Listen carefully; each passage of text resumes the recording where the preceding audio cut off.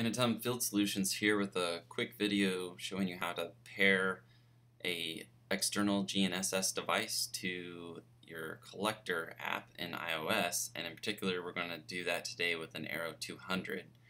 So to do this is pretty quick and simple. If you see here in the top center we tap on that little guy there and we'll go into settings and then once we're in settings with this new upgrade to collector that came out uh, in August, you can see we have this location grouping here and what we want to do there on provider we don't want to use the integrated receiver we don't want to use the iOS devices uh, GPS what we want to do is tap on that and we're going to create a receiver application for it. So we're going to hit the plus button and you can see this is the Arrow 200 that I have already Bluetooth paired to the iPad.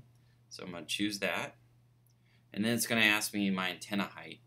If we're doing work where elevation isn't that important, we can just leave it blank. However, if elevation is important and you're doing RTK work and you're using on a range pole, then what we want to enter is uh, standard range poles 2 meters. So we want to enter 2.095 for our height of a 2 meter range pole. We'll click done and then this is actually an important part here. Once you've created that connection you actually have to tap it to get the check mark to sign up next to it. And that initiates the connection inside collector. And then we'll go back to settings here. And then we're going to say done. And let's go into a map here.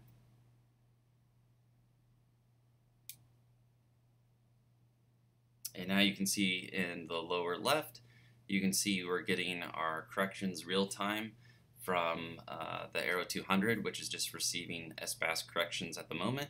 And we can see 22 centimeters, and we can even tap it open and see a little more of our metadata there. And if you set up your geodatabase collection form uh, with a little bit of Python script, then when you capture points with collector, it will also record all this metadata from your external receiver.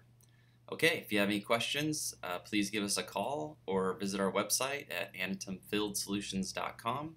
And thanks for watching the video.